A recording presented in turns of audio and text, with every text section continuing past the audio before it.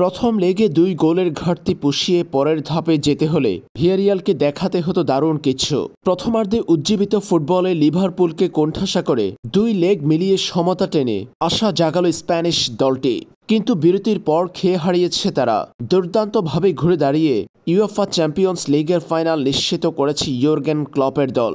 প্রতিপক্ষের মাঠে গতরাতে সেমিফাইনালের দ্বিতীয় লেগের ম্যাচে লিভারপুল জিতেছে তিন দুই গোলে। পাঁচ দুই গোলের অগ্রগামিতায় প্যারিসের ফাইনালে টিকিট নিশ্চিত করেছে লিভারপুল। প্রতিপক্ষের মাঠে এদিন বল দখলে আধিপত্য দেখিয়েছে ইউর্গেন ক্লপের দল। পুরো ম্যাচের সাতান্ন শতাংশ বল দখলে রেখেছে তারা।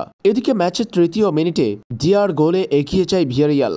এরপর প্রথমার্ধে একচল্লিশতম মিনিটে ব্যবধান দ্বিগুণ করেন কোকোয়েলেন।